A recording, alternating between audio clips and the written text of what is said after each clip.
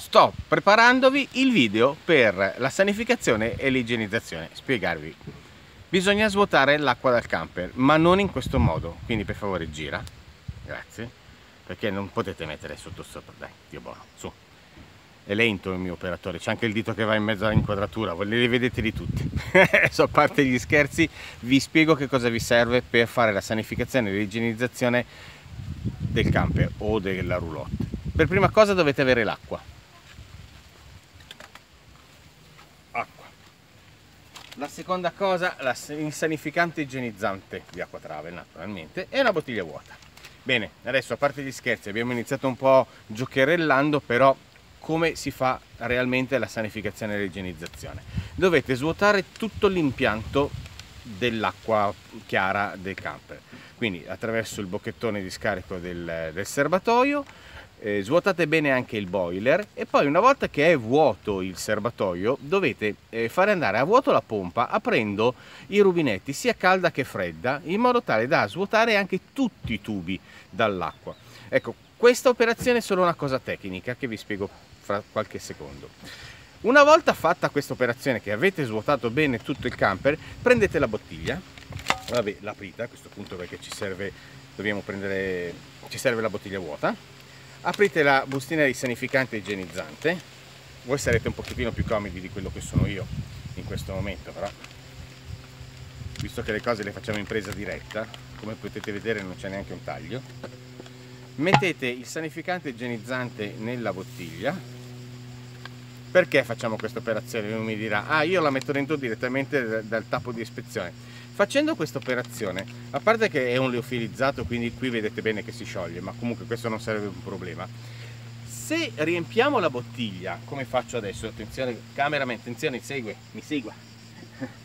apro, apro mio, come potete vedere c'è anche il filtro compact. Eh?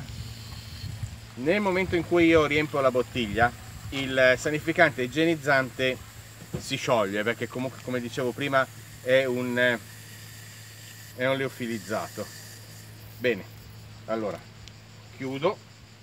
Vado alla ricerca del tappo che ho messo in tasca. Voi sarete molto meno imbranati di me sicuramente.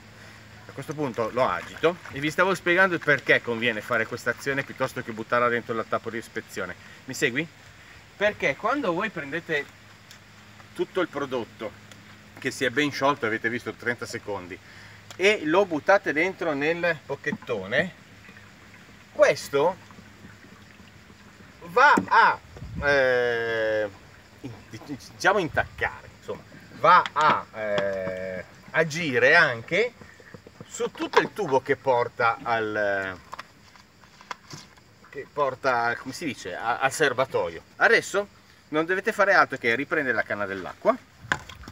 Anche se sparisco dall'inquadratura voi mi capirete io mi sono già attrezzato con una bella cosa qui e fate il pieno. Aprite e fate il pieno. Vieni a vedere vi faccio vedere una cosa che poi magari lo faccio subito dopo questo video ve ne faccio un altro. Vi faccio vedere questo è il nostro filtro compact. Cosa fa questo filtro compact? Praticamente come potete vedere è tutto marroncino perché è già sei mesi che lo sto usando nel mio camper. Bene questo ferma tutte le impurità che eh, altrimenti finirebbero dentro nel serbatoio. Ve lo faccio vedere il filtro praticamente nuovo. Eh, aspettami lì. Ecco, vedete? Questo è un filtro nuovo. È bianco. Guardate la differenza. Bene, dopo aver fatto questo tipo di operazione vi farò vedere come si fa la sostituzione del filtro a sedimenti. Bene, io adesso mi fermo un attimo perché faccio il pieno del serbatoio e vi faccio vedere come dovete fare poi per eh, riempire bene tutto l'impianto. Adesso ci siamo trasferiti all'interno del, del, camper. Prima vi ricordate che vi ho detto di svuotare facendo andare a vuoto la pompa tutti i tubi? Bene, perché? È una cosa tecnica, perché vi serve questo tipo di, eh, di, di azione? Per essere sicuri che il prodotto arriva fino alla, al rubinetto, voi dovete far sì di far scorrere l'acqua fino a quando il flusso è come questo. Vedete? Bello bello pieno senza sbruffare aria. Ok lo dovete fare sia sul rubinetto dell'acqua fredda che sia, sia sul rubinetto dell'acqua calda. Se, se c'è ancora aria, vuol dire che il tubo non è bello pieno e quindi mh, non essendo bello pieno il prodotto non va a agire dove ci sono le bolle d'aria dentro nel tubo. Questa operazione la dovete ripetere sia nella doccia, quindi caldo e freddo della doccia, sia per il lavandino del, del bagno. Lasciate passare almeno 2-3 ore. Nel mio camper io lo lascio dentro più giorni, 3-4 giorni, una settimana. È un prodotto atossico, è a base di ossigeno, quindi non va a rovinare assolutamente né o-ring, né guarnizioni, né le membrane della pompa. Lo lasciate dentro tutto il tempo che volete e poi cosa dovete fare? Dovete svuotare il serbatoio, ma questa volta lo dovete svuotare tutto attraverso i rubinetti perché? È importantissimo. Dovete aprire il rubinetto dell'acqua fredda e farlo scorrere per 2-3 minuti. Poi chiudete e aprite quello dell'acqua calda e fate scorrere 2-3 minuti. La stessa cosa andate in bagno la fate con la doccia e con l'altro lavandino. Perché è importante? per due motivi. Il primo motivo è che la pressione della pompa porta via tutto lo sporco che si è sciolto perché indietro tanto non tornerebbe verso la pompa e non riuscireste mai a eliminarlo dal tubo. Il secondo motivo è che tutta quell'acqua che voi buttate via vi finisce nelle acque grigie, dove lo lasciate dentro due giorni pulisce anche quelle.